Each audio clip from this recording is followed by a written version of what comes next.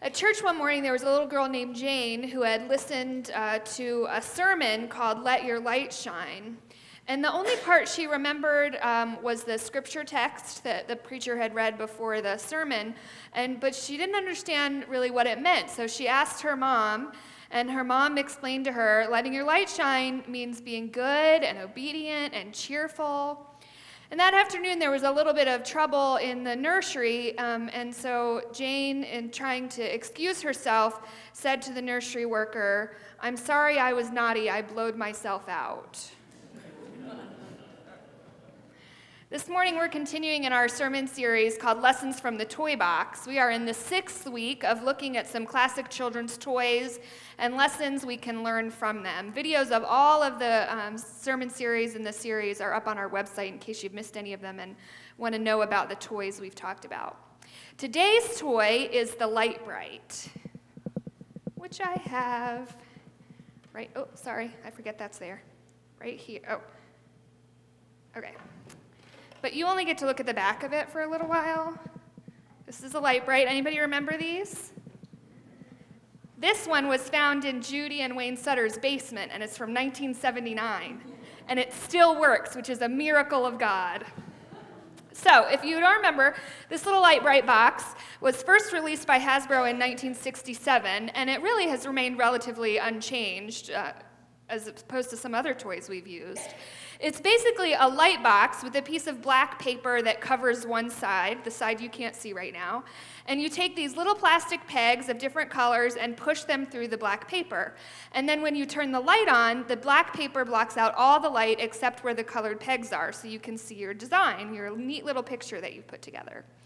Now, over the years, they've released a cube version, which is smaller than the original, and you can create pictures on all four sides. There's a flat screen version that is a bit thinner than the original design. On Amazon, you can buy the original Judy for $245. I'm just saying, $245. But the, I mean, they've changed a little bit, but the basic, the other one is $19.99. I priced it just in case anybody wants a new one. The basic principle is the same, though. The light reveals the picture made with the little plastic pegs. There are lots of scripture passages that talk about light and darkness. The very beginning of our scripture in the book of Genesis opens with God speaking light into the darkness. And we see those themes continue all the way through to the end of the Bible in the book of Revelation. We are still hearing about light, the light that shines in the city of God. Throughout both the Old and New Testaments runs this image of light and darkness, weaving its way through the story of the people of God and their life with God. The Israelites are told that they will be a light to the nations. The prologue of John's gospel talks about Jesus being the life that is the life of all men. It says, The light shines in the darkness, and the darkness has not overcome it. But the passage of scripture we're studying this morning comes from the gospel according to Matthew. It's from chapter 5, a section known as the Sermon on the Mount, which is a teaching section within the Gospel of Matthew. Jesus is with his disciples and many others who've gathered around to be taught. And right after Jesus gives the Beatitudes, he says this You are the light of the world. A town built on a hill cannot be hidden. Neither do people light a lamp and put it under a bowl. Instead, they put it on its stand, and it gives light to everyone in the house. In the same way, let your light shine before others, that they may see your good deeds and glorify your Father in heaven. Jesus tells the disciples that as his disciples, they are the light of the world. Notice he does not say, You ought to be the light of the world, or if you try really hard, you will be the light of the world. Jesus says, You are the light of the world. You are already the light of the world. The disciples already use their light to point to God. Their light, he says, is as impossible to hide as a city on a hill. Now, that image of a city on a hill is probably not as powerful for us as it would have been for the original hearers in Jesus' time. With all of our light pollutions and tall buildings standing in our way, it's hard for us to imagine what a city on a hill in an otherwise dark sky might look like. I was um, trying to learn a little bit of science this week because I didn't learn it when I was in school. And so I, uh, there's a, a website called livescience.com, and it explains it this way it says, The Earth's surface curves out of sight at a distance of 3.1 miles. But our visual acuity extends far beyond the horizon. They said if the earth was flat, or if you were standing on top of a mountain surveying a larger than usual patch of the planet, you can perceive bright lights hundreds of miles in the distance. On a dark night, you could even see a candle flame flickering up to 30 miles away. Isn't that incredible? I mean, we can't do that anymore because there's lights everywhere. It's hard to see a candle flickering 30 miles away. So I want you to imagine for a moment a completely dark field as far as you can see, except for a city up on a hill. Can you imagine how your eyes would be automatically pulled to that light in the midst of the darkness? It would be difficult to look away from that light. And that's what Jesus says the disciples are. They are as bright as a city on a hill. They are the place where people's eyes are naturally drawn. But the point of that light isn't for the disciples to be the center of attention. They are the light of the world, it says, not the center of it. As the New Interpreter's Bible commentary reminds us, the primary function of light is not to be seen, but to let things be seen as they are. Think about a lighthouse, for example. People didn't go through all the difficulty and expense and work of building and then constantly maintaining and manning a lighthouse simply to be able to look at a quaint building or a pretty light. You could do that in other places in easier ways. Lighthouses served a purpose. They help ships know where the land is and help illuminate some of the rocks that are in the water. The point of a lighthouse is to help people see what is already there. Or think about a candle. Mostly nowadays, we use candles to set the mood or because we like the way they smell. We rarely actually use them for their real purpose. But candles were originally invented to shine light so that you could see what was already around you. A bit like we use flashlights today. We don't usually turn on a flashlight and then just set it up in a corner and leave it there because we think it looks pretty cool. We use a flashlight, or in my case, my cell phone, when we are somewhere dark and need to see what we're doing. Jesus says, Let your light shine before men, that they may see your good deeds and praise your Father in heaven. The point is not for people to see the disciples or to see us, but rather to see God. The disciples' faithfulness, our faithfulness, is like a light that shines on God's work in the world, on God's love for God's people. Think about our toy again for a second. The light in the Lite-Brite toy is a fundamental part of the toy. I can tell you from experience that the toy is not nearly as fun without the light. Once the light bulb burns out, the toy is a dud. But the light by itself isn't the point either. It's not very fun to just stare at a bare light bulb. I've never done that, but I don't think it would be very exciting. The point of the Lite-Brite is to use the light to illuminate the picture. Both pieces are important. The light enables us to see the fullness of the picture that you've created. It's the same for us. The New Interpreter's Bible Commentary says it this way The disciples are called to the active mission of letting their light shine to all, but they do not generate the light any more than salt generates its own saltiness. The metaphors picture the church as having been lit, recipients of a light from which God is the source. They have been lit not for their own sake, but for the sake of the world.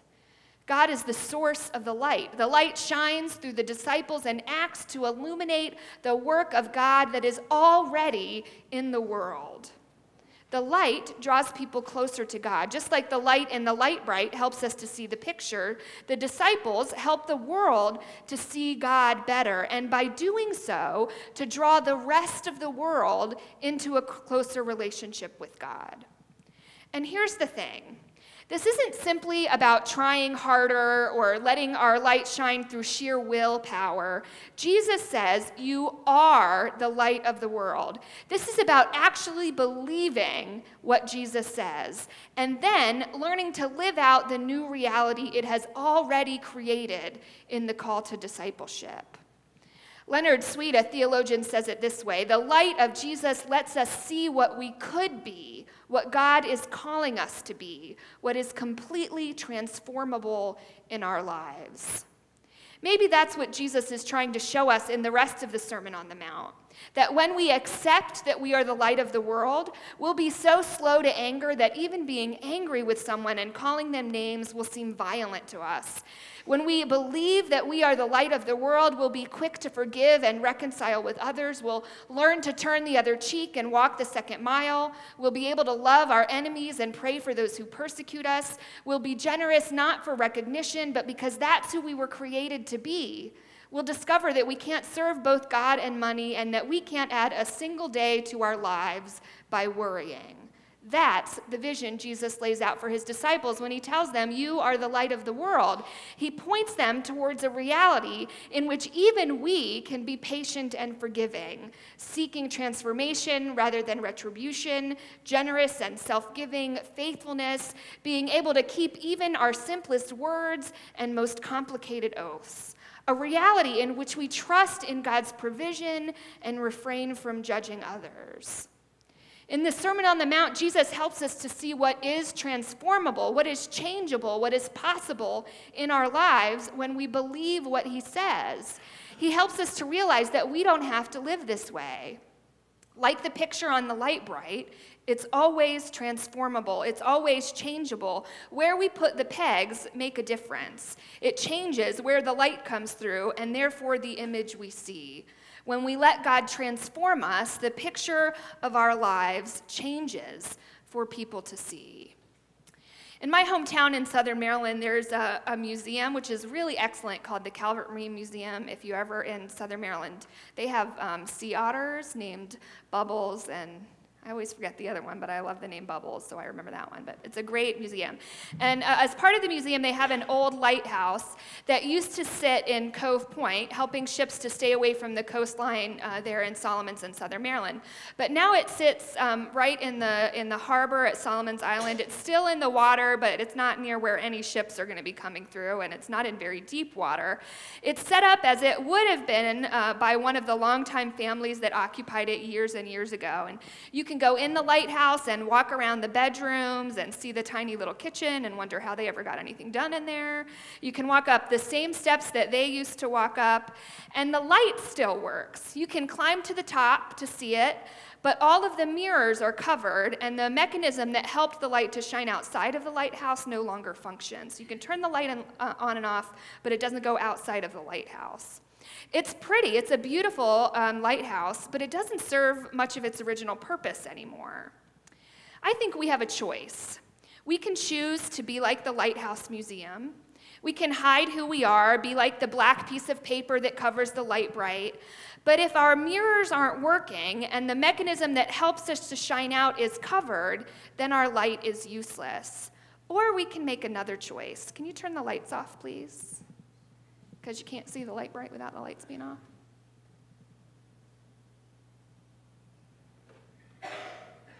Or we can make another choice. Our secretary did that for us. It looks good, doesn't it? We can choose to be like the light. We can choose to be as we were designed to be, to shine out and to use our light to point to the one who created us to help people see that which already is going on in the world God working and moving and transforming and changing us. We can let our light shine because you are the light of the world. What will you choose? The Word of God for the people of God. Thanks be to God.